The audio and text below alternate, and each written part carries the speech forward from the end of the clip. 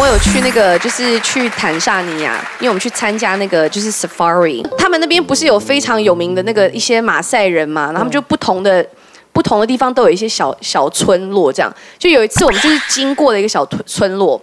然后那个 guy 就跟我们讲说，哦，那个这边会有一些那个呃马赛人，他们可能会经过看到你们，然后你们不要吓到，因为他们就很高大，然后就是身身上穿的衣服非常的有颜色这样子。然后呢，我们在一面开车慢慢走的时候，突然看到前面有两个鸵鸟，你知道鸵鸟很大，对，然后他们这样走一走，然后开始跑的时候，它那个羽毛就这样掉下来。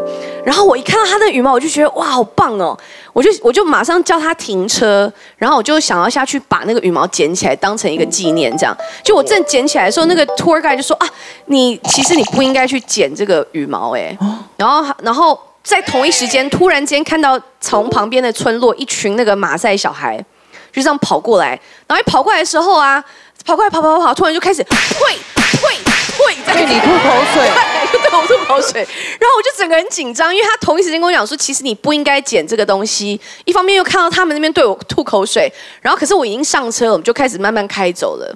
就他们还一面追着我们的车，一面对我们吐口水。那你还捡了那个羽毛吗？对，我手上还是拿着羽毛。啊，另外一只手他在抹他的脸。分不清是口水还是泪水。对，但是你知道，他们虽然吐口水，但是我发现一个非常奇怪的现象，就是他们是微笑的，每个人的脸上都是很大的微笑。所以有练过边笑边吐。对，然后我想说怎么会这样？我才知道，原来在坦桑尼亚，尤其是马赛族，他们的一个习俗就是见到人跟人家打招呼的方式就是吐口水。那请问金凯瑞那部电影是不是？那请问这整件事跟你刚刚剪羽毛有什么关系？因为我以为他们在那边气我剪羽毛，因为他说其实那个地上的这些羽毛不应该剪，他们不喜欢。尤其是游客去捡这些东西，所以其实是的的确不应该去捡的。哦，而且要捡，你也不要在他们面前捡。就比如说，你看到有什么哦，有什么动物的残骸 什么的，你想要捡起来，不要。你捡动物残骸干什么？对，有些人会这样，所以你知道那个游客那个警告语就会说，不要随便去捡，不要在这捡骨。对对，什么捡骨？OK，对，好啦，因为表示热情，我们学学了一个新的方式嘛。对，打对，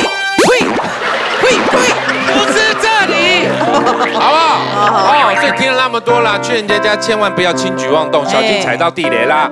那以上呢，各地的待客之道留给大家做参考。今天谢谢大家的分享，谢谢我们二分之一强，下次见，拜拜。